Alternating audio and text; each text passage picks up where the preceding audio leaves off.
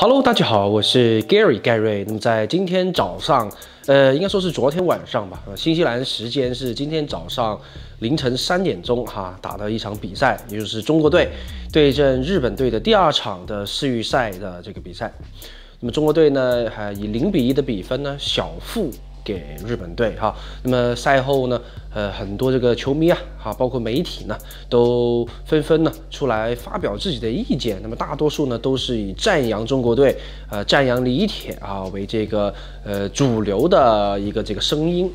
呃，但是我在看了全场比赛之后呢，呃，我可以说对中国队呢，实际上还是相当的不满意的。那么唯一可以赞赏的呢，那么中国队今天表现出来的防守啊，以及他的精神面貌呢，确实和第一场对澳大利亚的比赛相比呢，确实是好了许多。呃，勉强可以说今天中国队这场比赛呢，叫做输球啊，但是不输人。那么起码呢，把自己的位置呢，打是终于呢摆正确了啊。呃，果然没有跟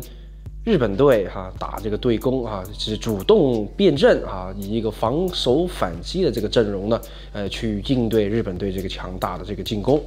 其实，在比赛前十到二十分钟呢，中国队在防守端呢，应该不算说是遭受太大的这个冲击。那么，中国队在防守端的表现还是 OK 的，但只是没有任何的进攻啊。日本队这一届比赛非常的奇怪，在第一场输给阿曼之后呢，看到日本队还是有相当多的一些这个问题的。由于许多这个球员呢都是这个欧旅的球员，在回到国家队之后呢，哈，这个默契啊与队友之间的默契状态呢，啊，确实是比较差劲的。要不是久保建英的这种穿针引线呢，那么日本队实际上在前场啊是没有一个核心轴的。久保建英在这个中间偏右的位置呢，也是把日本队呢给踢活了。实际上整场比赛下来啊，除了这个伊东纯也、久保建英等等这几个球员之外呢，日本队其他的球员呢不算有太多的这个亮点，感觉就像啊日本队就。布置着一两个核心球员啊为中心的一个简单的一些战术，那么去闯关，那么试图呢，呃，能够轻松的战胜中国队。但实际上在场面上来看呢，虽然日本队的。控球啊是远远超过于我们哈七成多的这个控球，但是你说日本队有没有很好的机会嘛？除了上半场啊进球那个不算哈，打到门柱那球打得非常漂亮之外呢，实际上全场下来呢，日本队没有更多的比较有威胁的这种进攻哈，这或者说是打门。中国队这边呢，在六十分钟主动换人之后呢，我们能看到阿兰跟洛国富啊是憋着一肚子这个怨气啊，他们的战役是毋庸置疑的啊。野牛呢一上场呢就。发挥着自己这个身体好、冲击力强的这个优点哈，频频的对日本队的球员呢做出这个身体上的这个冲击，当然了，也是早早的拿到一张黄牌，让到他在后面的一些防守的球当中呢，也是不敢的太过于的去做动作。阿兰那边呢也是非常的心急如焚啊，在一个啊被对方侵犯之后呢。呃，应该说是腰部落地啊，也是非常的难受啊。那么裁判看到这个情况之后呢，啊，觉得阿兰背身落地哈，这个腰椎这个地方呢，非常的难受啊，应该是比较严重的这个伤，马上呢就挥手叫中国队的队医进场。呃，阿兰看到这个情况之后呢，赶紧挥手要队医先回去啊。当然了，一旦队医进场呢，球员们呢必须要回到场边，然后呢再根据裁判示意，方可再回到比赛场当中。可以说，在六十分钟换了人之后呢，中国队的整个面貌呢就稍有改变了，冲击力更强了。那么一度呢，让日本队啊无所适从啊。但是日本队毕竟还是强队啊，很快呢就适应了中国队这个连番的这个冲击。但不管阿兰跟陆国富有多拼命啊，始终是没有办法跟。啊，艾克森、吴磊啊，前场的球员呢，能做出一个有效的这个连线，甚至一度中国队丢弃了中场啊，只在后面的位置呢大脚长传。中国队的问题呢是非常的明显的，跟日本队的差距呢远远哈大于一个球啊，至少三到四个球。要不是日本队人员不整啊，状态不佳，中国队今天肯定还要输得更多。每当呢我们背身拿球的时候呢，对方呢总有三到四名的球员呢在局部呢围堵我们，让我们无法转身、无法出球啊。这个也是多年以来的中国队。一直遇到的一个问题哈，特别是在亚洲区的一些重要的比赛当中哈，对方只要一夹我们呢，我们就显得办法不多了。相反，在我们同样的方法对待日本队球员的时候呢，日本队总可以三爬两搏呢，把球呢呃成功的啊突围啊把球传出去。呃，这个就能看到我们实际上有这个啊最根本上的这个差距，那么就是基本功啊以及这个球感。那么看到丢球这边呢，实际上王声超啊，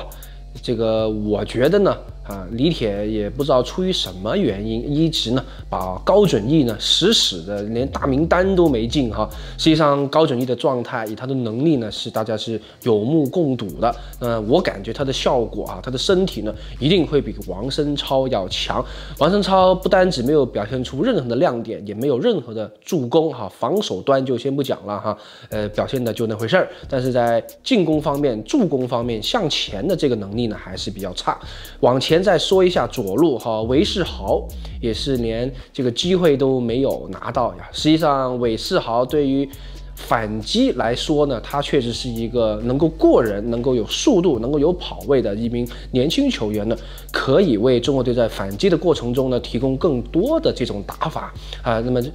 从而呢，可以跟艾克森与吴磊呢，在左路这边呢形成一些连线。中国队如果只是仅仅通过中路呢，那看来还是比较困难呀，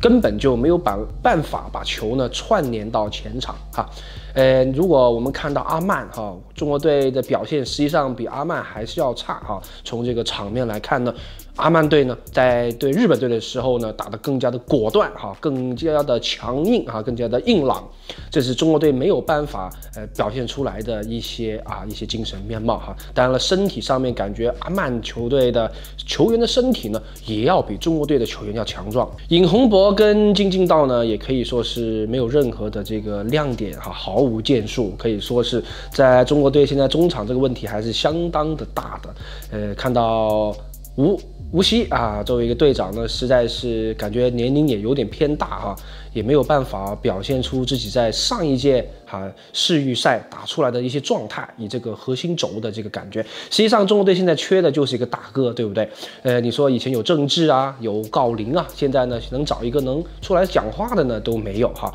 蒿俊闵虽然说是老球员，呃，常常呢被由于体力的问题呢压在这个替补席上，那么在替补上场之后呢，感觉呢话也不多。那么唯一如果我要在中国队选一个老大哥的话呢，可能只能选王大雷了。其实其实大雷呢其实是比较适合这种大赛的。我不是说严俊凌表现不行，但是在一些比较特殊的一些关键场次当中呢。呃，黄大雷呢，有可能给中国队能带来一些不错的这个变化，起码呢，他可以在后面喊一下哈，作为一个中国队的老大哥，而且他有非常不错的这个手抛球以及开球门球的传球，非常精准的这个技术呢，也是可以给中国队呢在打防守反击的时候呢提供一些更直接的这个通通道。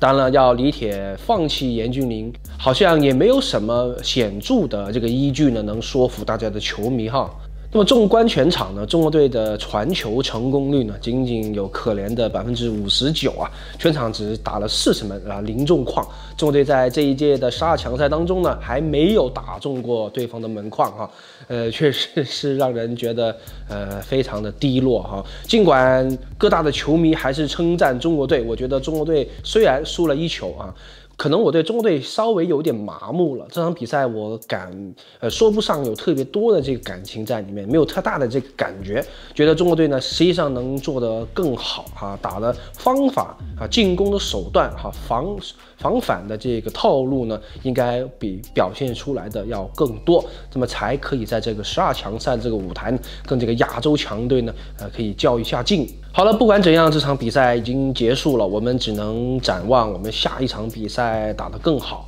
中国队后场、中场、前场三条线怎么用更有效、哈更有效、更直接的方法去串联起来呢？我觉得是在今后十二强赛余下的八场比赛非常重要的一个因素之一。如果李铁可以成功的解决这个问题呢？我觉得中国队还是很有希望呢，能够渐入佳境的。好了，那么今天无论如何就先给大家说到这儿。如果喜欢我的频道，记得订阅、点赞与关注。我是 Gary，我们下次节目再见，拜拜。